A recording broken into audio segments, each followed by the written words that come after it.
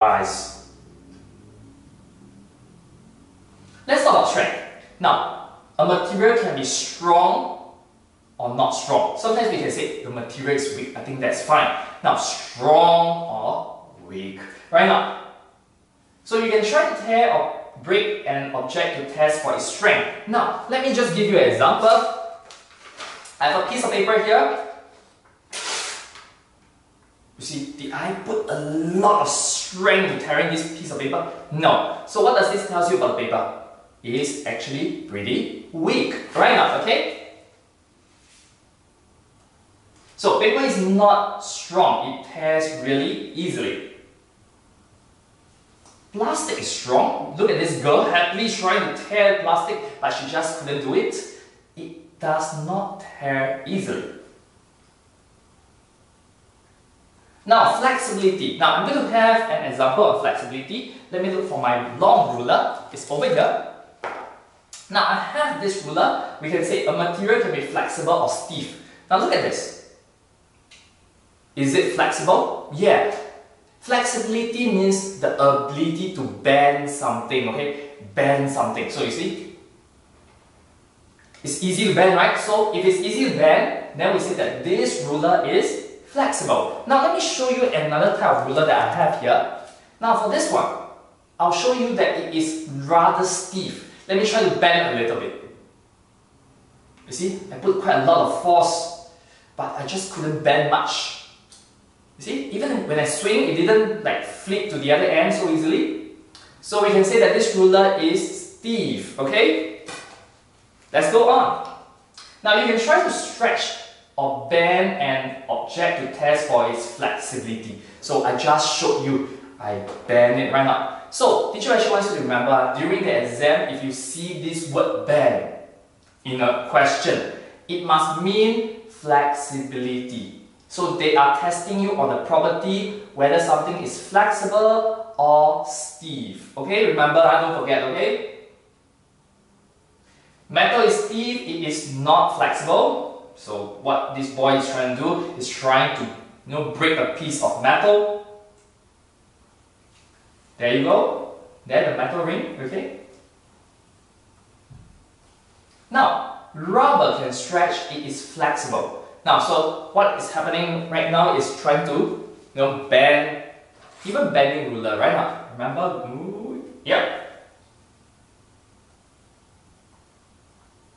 Let's go on to the next property, transparency. Now, transparency in this word, there are three groups of transparency materials. Okay, that is classified under transparency. Now, first one, transparent object. Transparent object means you can see through.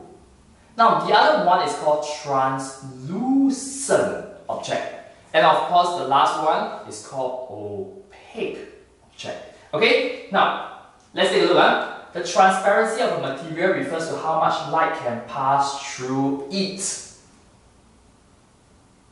Now we have three cups over here. First cup is a transparent cup. Second cup that you see down here is called a translucent cup. And the third cup that you see down here is called an opaque cup. Now, so meaning this one allow most light to pass through. When they allow most light to pass through, that's why you could see through it. This one allows sunlight to pass through it. When I say allow sunlight to pass through it means you could see through but not very very clear. And this one, it doesn't even allow any light to pass through it. That's why you couldn't see what is inside the car. Okay?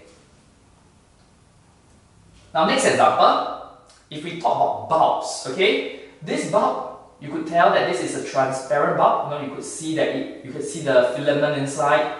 Now this one is a translucent bulb. Okay, and this is an opaque bulb. So opaque bulb does not allow light to pass through, meaning you can't see what is on the inside. Okay.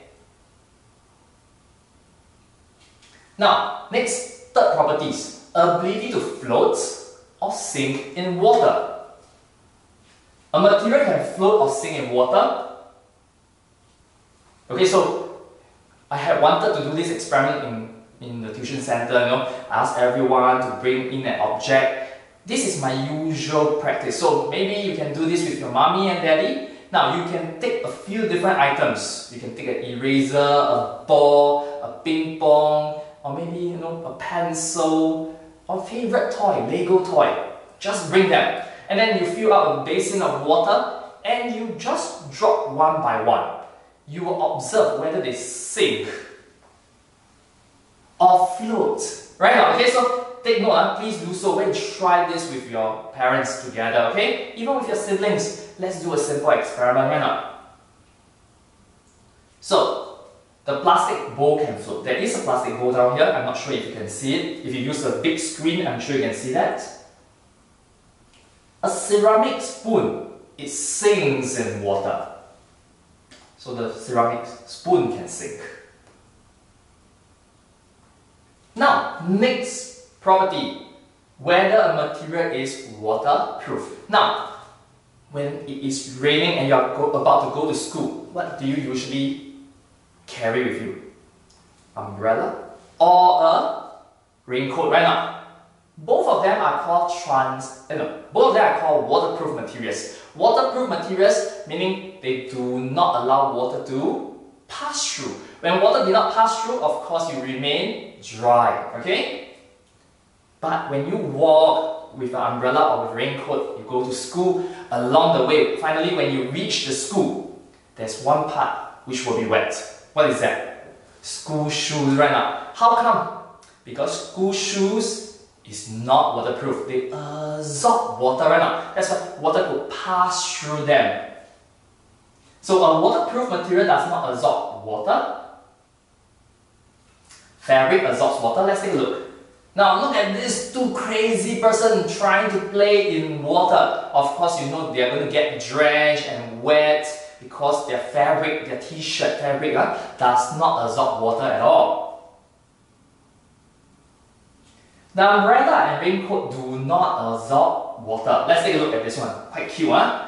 Yeah, this doggy needs an umbrella, no? So there is an inverted umbrella for the doggy. So the doggy will remain dry because the, the umbrella does not absorb water. So we can say that the umbrella is waterproof. And of course, raincoat, okay? Now, we're going to choose the right property. Oh, sorry, right material. Now, meaning sometimes we have to decide when I want to make this object, should I use plastic? Should I use metal? Should I use something else? I have to think of the properties. Let me give you an example. Materials are chosen to make an object based on what the object is used for.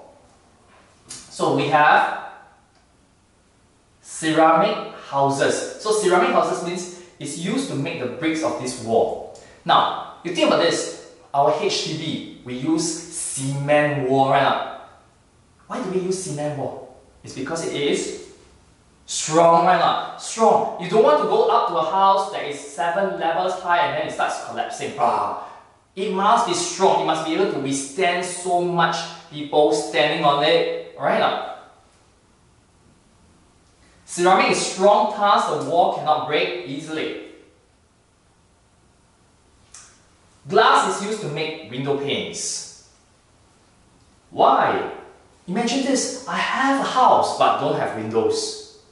I'll be living in darkness. So why do I have window panes? Because I want to see the scenery out there. Whoa, beautiful clouds. Right now, the window panes must be transparent to allow us to see through the glass. Okay? So glass is used as it's strong. It also allows most light to pass through so we can see through it. So the idea is it is strong, it is transparent. Remember, we got to use our properties. Often, no one material has all the properties that an object needs. What do I mean by that? Huh? We usually see an object that is made of more than one material like the shoes below. Now, so what they're trying to tell you is actually in every part of that object, know, like let's say you want to talk about shoes, you want to talk about your school bag, even your pen, right now, all these uh, they don't just use one material. Sometimes they use multiple materials. So let's take a look at this shoe. Now, this shoe is made out of fabric, so fabric material. Why? I want it to be soft, you know? Yeah? The soles of the shoe is made of rubber because I want them to have more friction on ground. I don't want to slip and fall, okay? And of course, you know sometimes when you want to tie shoelace, over there there will be some metal rings to hold the shoelace together, right now, okay? So that you can walk you know, comfortably, right now.